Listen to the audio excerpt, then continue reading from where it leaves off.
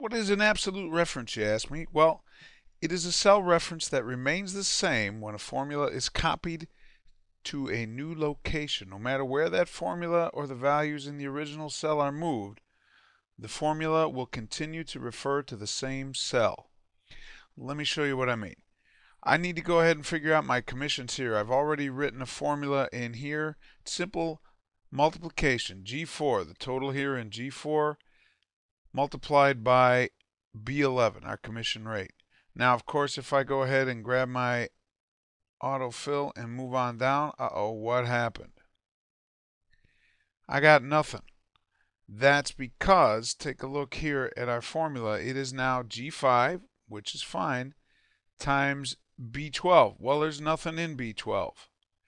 That's because the autofill is doing its job. It's carrying down all of those values. But that's not what we want. We want this formula to always refer to cell B11. So to do that, we're going to go back into our original cell and we are going to add the absolute reference.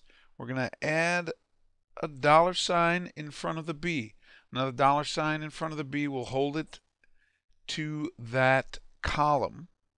Then we're going to go ahead and in between the B and the 11, right in front of the 11, before the 11, we'll add another dollar sign. And don't get confused. The dollar sign doesn't mean that's because we're dealing with money here. That has nothing to do with it. It's just a symbol for the absolute reference. The dollar sign in front of the B holds the column. The dollar sign in front of the 11 holds the row. Let's go ahead recalculate that. And now, when I do my autofill, see that? No matter which one of these I go to, it changes here, the first part of my formula, but it always refers to this cell B11. That's my absolute reference.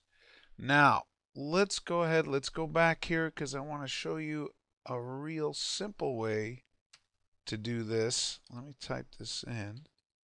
Rather than going in front of the B and in front of the 11 and adding those dollar signs, if you get your insertion point, your, your cursor there, right in between the B and the 11, keyboard shortcut time, on your keyboard here at the top, hit this key, F4.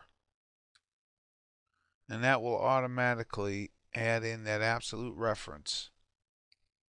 And that's the absolute reference, gang. Thanks. I'll see you next time.